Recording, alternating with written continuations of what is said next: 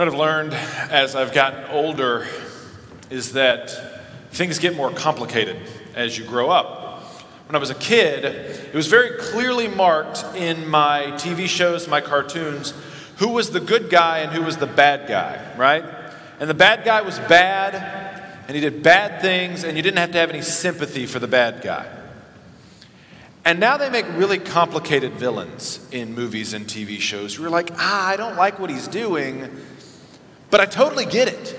I understand why he feels that way. It's, it's, there are some things that are good and some things that are bad, and it's very clearly marked. But then as I've gotten older, I've realized there are some things that that line is a little grayer, right?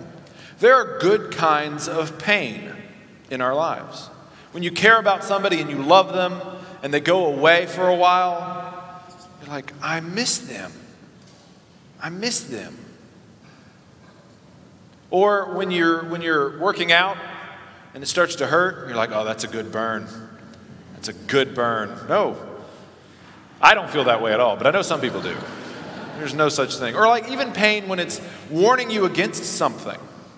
You touch your hand to the stove, it's hot, you pull your hand back. Yes, you have a burn, but it's not as bad as it could have been if you didn't have pain. Something else I've learned uh, that apparently has good and bad versions is cholesterol. Apparently, there's good cholesterol and bad cholesterol, which doctors, come on, you couldn't have thought of like another term for like the good cholesterol so we can have it clearly earmarked? No. It's good cholesterol and bad cholesterol. And pride is a lot like that. There are some things that it's good to be proud of. If I'm proud of my kids, that's a good thing. You're like, yeah, you should be proud of your kids, and they should know that you're proud of them.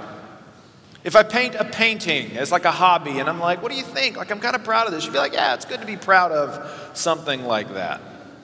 But if I'm proud of my bank account, I've suddenly crossed a line. I'm like, eh, that's the wrong kind of pride, Travis. Or if I'm proud of something and I make it really known to you that I'm proud of it, that's the wrong kind of pride. And so, what I want us to do today is I want us to look at the scriptures and I want us to talk about how we can navigate being followers of Jesus and dealing with this thing called pride because it's incredibly prevalent in our lives and our culture kind of tells us there's some things to be proud of, some things not to. What does the Bible say? And what does God want from us as we pursue Him? How do we navigate pride. We're going to be in Galatians chapter 5, verse 26.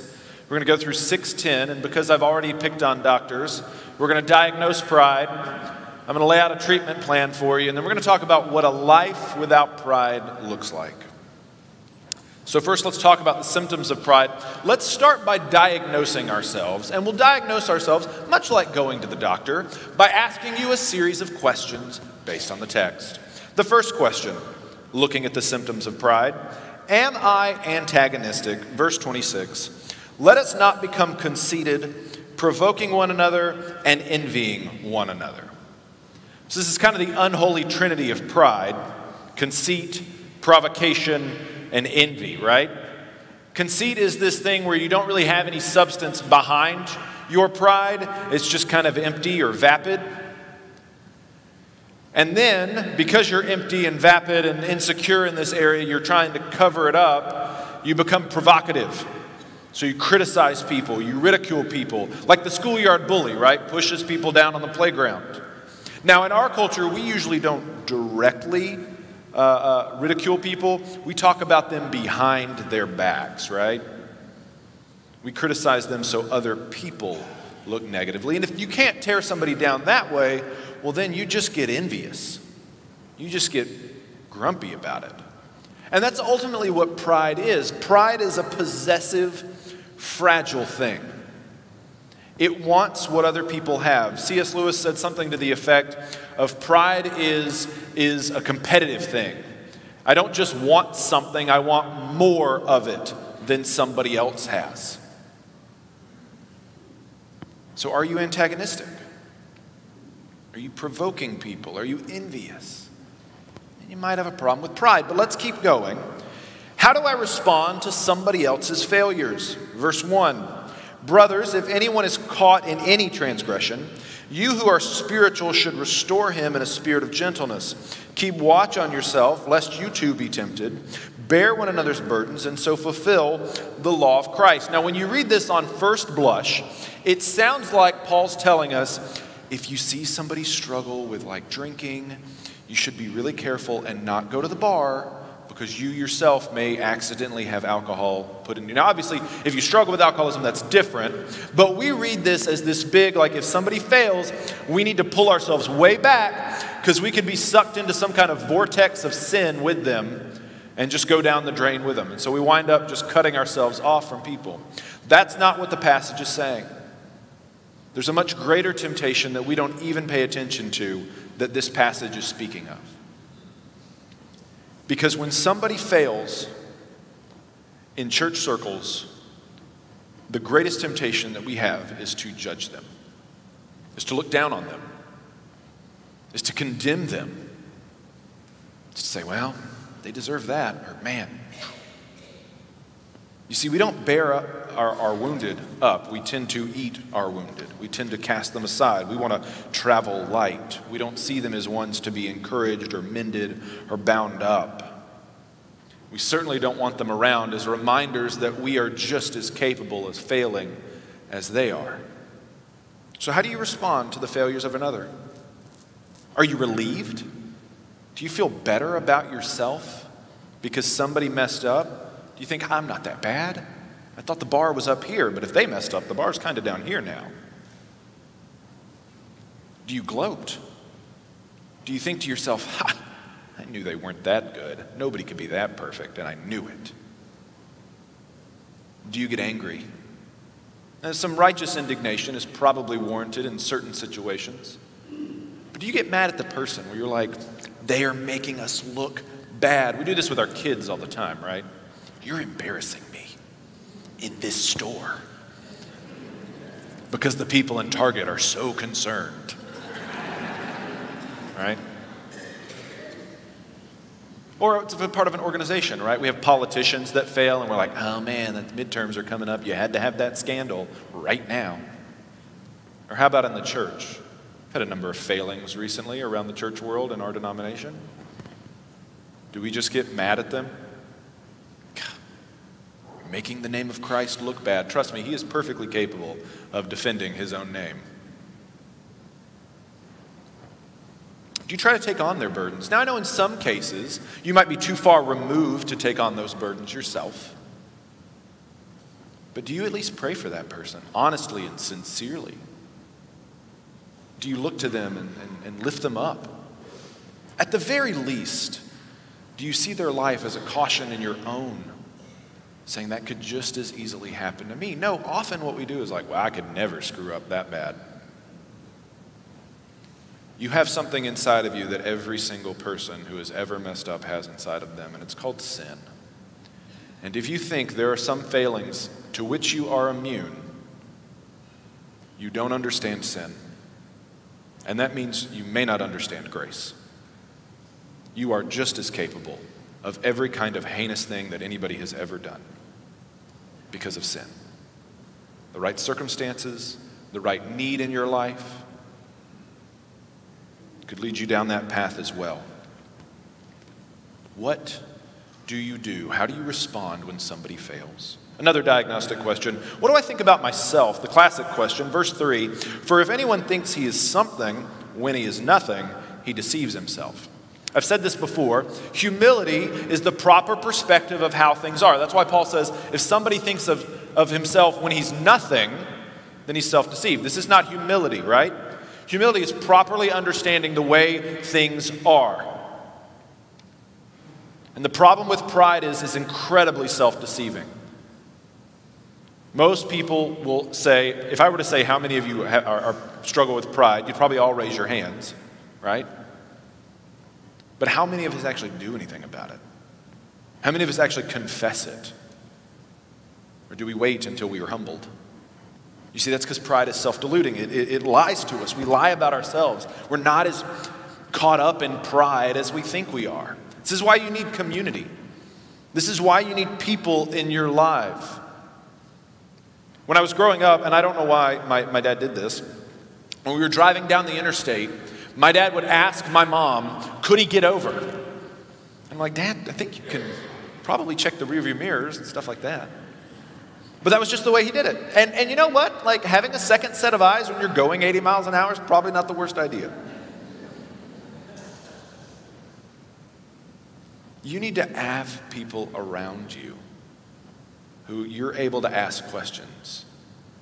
Hey, am I I feel like I'm am I prideful here? You've got to you got to am I and give them these questions and be like, "Hey, do you see this in me? Call me out on it.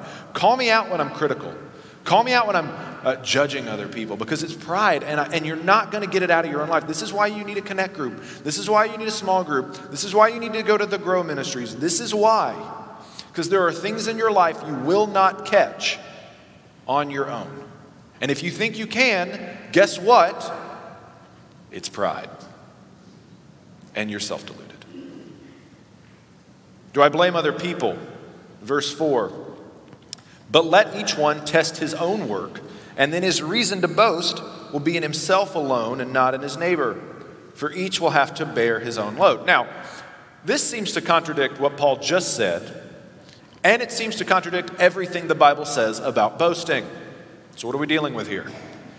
Because the Bible never tells us to boast in our own work, except for right here. And Paul literally just said we need to carry one another's burdens, and now he's saying we've got to carry our own burden. And there's no Greek gymnastics I can do here. It's literally the same word burden, burden, same word. So, what's going on? Let's start with boasting. Often we compare ourselves to other people, right? That's the way in which we find it easiest to boast, right? I ran uh, the Tour des Fleurs back in 2017, and I keep saying I need to run it again so I can update my hat, because I just have a hat that says 2017, and it just seems kind of lame. It's like, wow, you ran that like five years ago, Travis. But I ran it, and I remember looking at my times, and I was, I was not anywhere close to being the fastest. But I looked and I was like, oh, I did pretty good for my age group, or I did pretty good for like my demographic, right? I was comparing myself to other people. And we do this with our goodness, with our morality, well, we're pretty good for pick your group. But see, God's standard is absolute. God's, God's standard is there's no curve. God does not grade on a curve. God has an absolute standard. And if we fail to meet it, we are not good. This gets us to the idea of bearing our burdens and bearing our own burdens. Because one of the things we find most prideful in ourselves is our ability to carry our own load, the ability to, to pull ourselves up by our bootstraps, right? Let me ask you this when you have a problem, who do you go to? Are you somebody that receives the burdens of other people, or are you somebody that views your problems as more important than other people's problems. And probably the best way to test this is if you are a person of prayer. If you pray a lot, when you pray, do you pray about your problems more than you pray about other people's problems?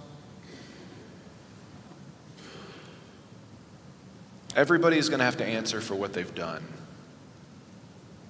And do you constantly unload your burdens on other people? Do you blame other people for the problems in your life? How do you deal with your problems and the problems of other people?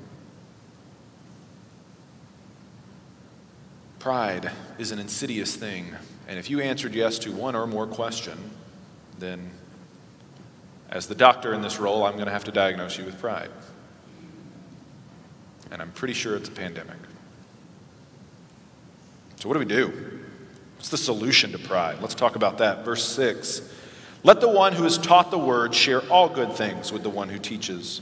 Do not be deceived. God is not mocked, for whatever one sows, that will he also reap. For the one who sows to his own flesh will from the flesh reap corruption, but the one who sows to the Spirit will from the Spirit reap eternal life. So, what I want us to do is I want to condense this down because Paul is applying the idea of burdens very specifically to the church at Galatia. He's saying, basically, y'all need to take care of the people who are taking care of you. The church is designed to work together.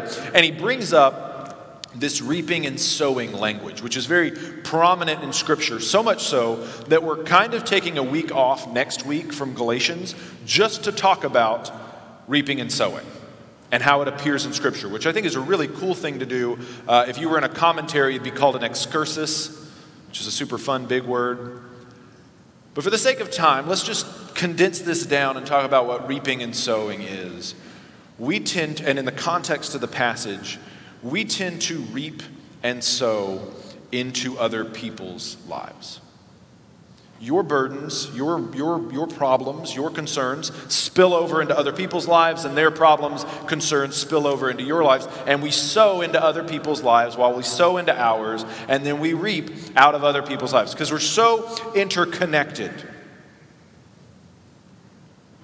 One of the ways we say this and we do this in other, other things, sorry. We, we say this into to, to work, to school, to professions, to, to wealth, right? We, we, we reap what you sow. You reap what you sow. We say this a lot. We have other variations of it as well. You get out of it what you put in, right? You, uh, you get what you pay for, you get back what you give. What goes around comes around. And you couple this with what's said about burdens and carrying your own burden and carrying the burden of other people. And you realize that a lot of the things that we're proud of in our lives are things that we have sown into our lives. Right? Like the things I'm proudest of are the things I've worked hard for my education, my career, my family, we're proud of our titles and our neighborhoods and our things because we've worked hard for them, probably. Or you've sowed, you've worked really hard with your family and want to have a good, picture perfect family, and you're proud of them. Or maybe you've sowed into your appearance, your health. And so you're proud of your body, you're proud of the way you look, and, and you maintain that. But here's the thing the things that we sow to be proud of can also reap a harvest of shame later on. Because bad business moves, and you can lose those things that you're most proud of. Our kids can very easily go from pride and joy to black sheep like that, to where we don't want to talk about them and we're ashamed. Unfortunately, beauty and health give way to the slow march of time. And you look in the mirror and you miss the face that used to stare back at you and the body that used to look back at you. In order for something to be a point of pride, yes, you have to work hard at it. But in order for it to remain that and not to become a source of shame, you have to keep working at it. And then there are things in our lives that have never been points of pride, but they've also been sown into our lives. Things that we're ashamed of have been sown into our lives, either by ourselves or by other people, right? We've got things, mistakes that we made in our past, and we're ashamed of it. We don't want to talk about it, right? Or maybe it was something that was put in our lives by other people. You had a bad upbringing.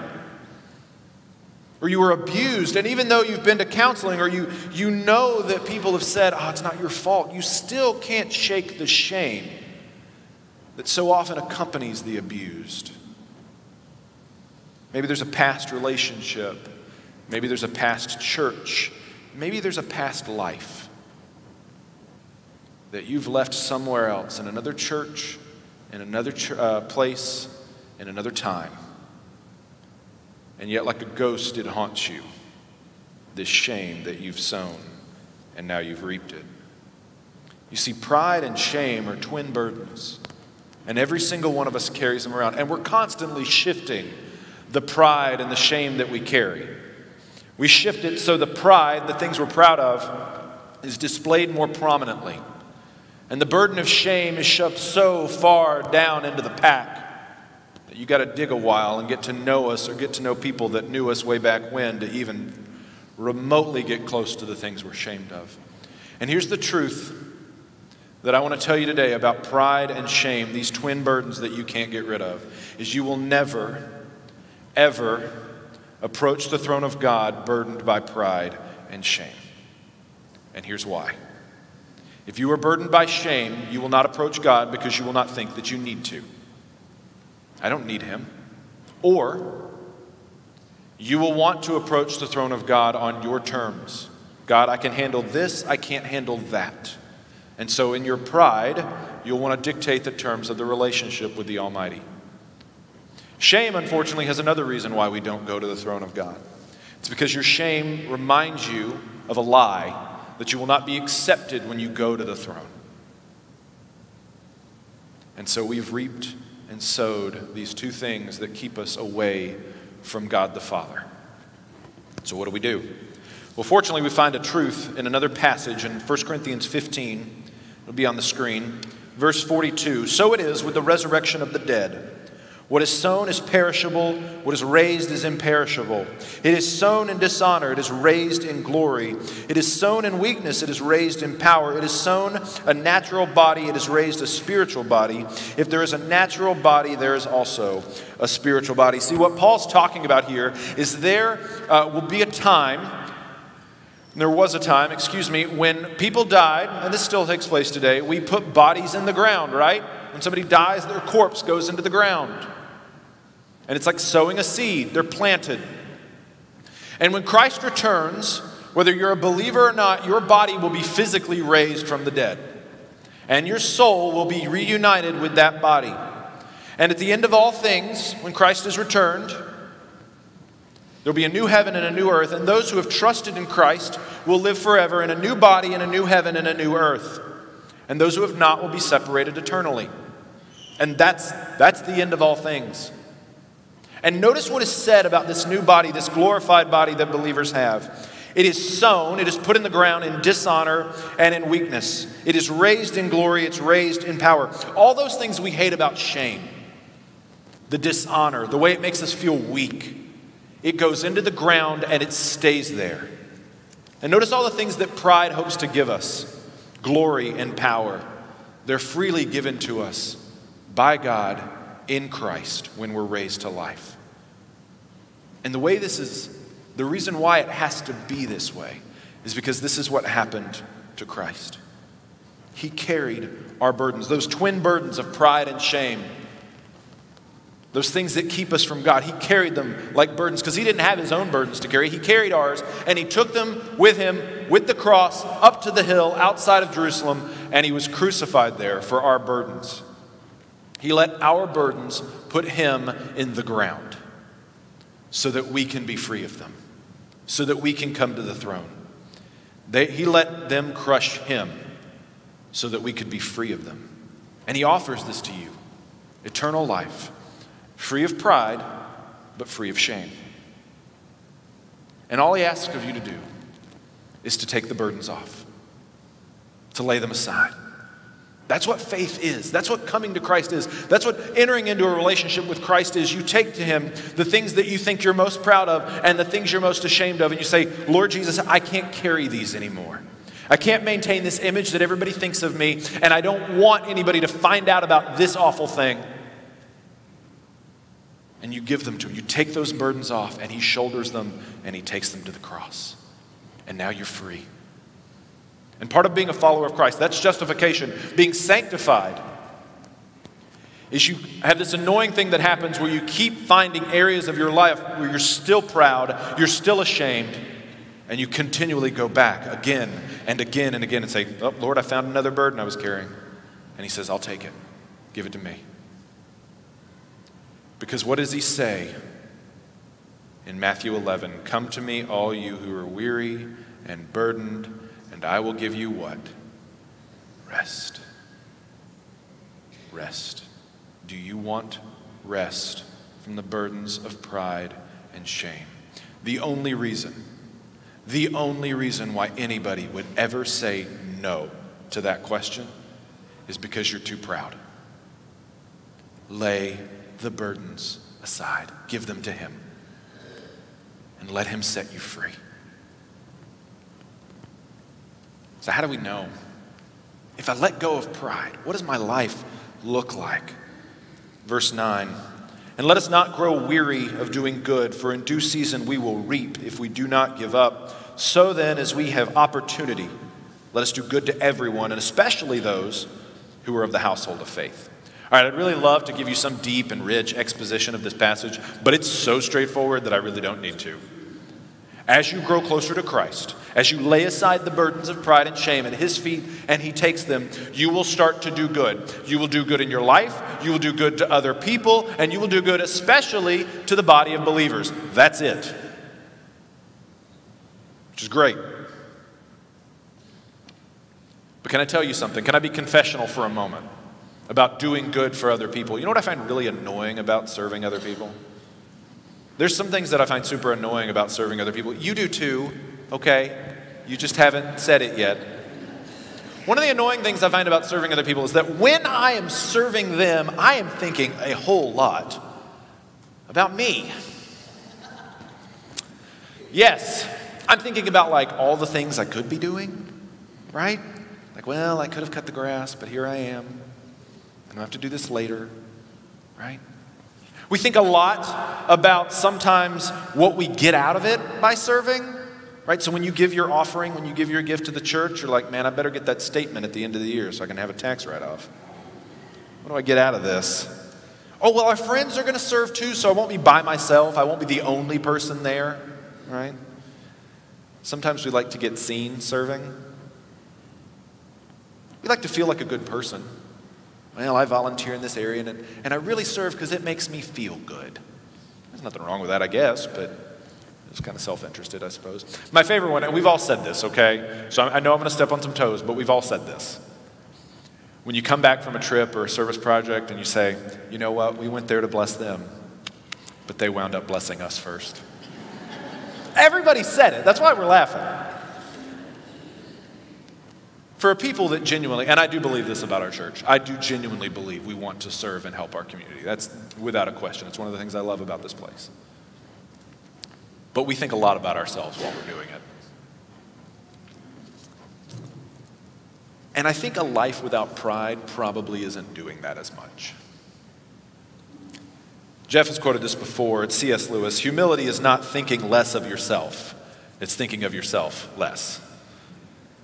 That's true. If you want to know how deep the roots of Christ's love and affection have gone in your life, and you want to know whether pride is a problem, I could have boiled the whole first part down to one question is when something happens, and I mean anything in your life happens, is your first question, how does this affect me, or some variation of that? And if it is, pride's a problem. Pride's a problem. So, how do we cultivate a world in which we are not proud? In which we are not the center of our own universe because the culture around us kind of wants us to be that way. Well, the first thing is you need to know something about human beings. You are not capable of stopping thinking about yourself unless you replace it with something else. So, when you are compelled to think of yourself, like those burdens, those pride and the shame and all that, you have to think of Christ. You have to remember who He is. You have to remember what He did. You have to reflect and meditate and remember what He did. This is why we take the Lord's Supper once a month, so we can remember what He did. So if you got homework this week, I want everybody to do this this week. I want you to find a nice, quiet spot. Someplace nice, someplace quiet, someplace cool. Close your eyes, and I want you to relax in Jesus Christ. I want you to rest in Him. I want you to, it doesn't even have to like come forward in, in praise and worship, it can. But just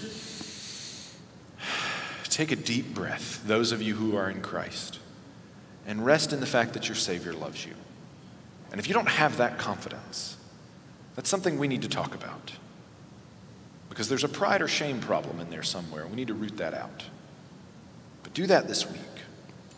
But then from there, as you rest in Christ, as you draw close to Him, you'll also be drawn to other people's burdens because Jesus' life on earth was one of being constantly drawn to people who were burdened. You can't see? Let me fix that. You can't hear? Let me fix that. Is everybody hungry? Let me help you do that and then take home leftovers with you.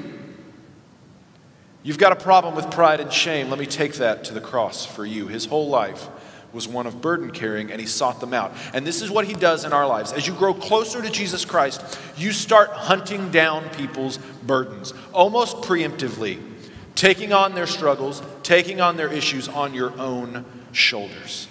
And you're trusting God to take care of your problems through his grace and his sovereignty. and you keep hunting down burdens. And I know what some of us will say, because I struggle with this too. Well, Travis, where's the boundary? Where do we, where do we say no? If I, if I stretch myself too thin, it'll kill me. That's the idea. Because the closer you grow to Christ, who allowed our burdens to kill him, you will find that you will take on more and more burdens, and it will cost you something. But many of us aren't willing to even go so far as to find out what it'll cost, much less give it up. Brothers and sisters, please draw close to the Lord in Christ. Draw close to Him.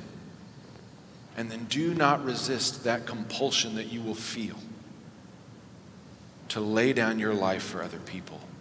Take on other burdens. Let them crush you. Odds are they won't really do that. Odds are you'll give up a Saturday or a Sunday or an hour of worship. But let other people's burdens become more important than your own. And that's what a life without pride looks like. Today we've diagnosed ourselves, and I think it's unanimous. I think we all struggle a little bit with pride, probably a lot of bit with pride. But there is a Savior who loves us despite our constant claims to his position as God over everything. Lay down your burdens, lay down your shame, lay down your pride. And when you are free, find other people's burdens and lay them, take them on so you can lay them down too. Let's pray. Gracious God and Heavenly Father, thank you for the grace that you have given us today to come before you and admit the fact that we are proud. Way more than we know. Lord, I pray that you would set us free from our twin burdens though might be more free, both to enjoy you and to worship and to love other people well. And it's in your great name we pray. Amen.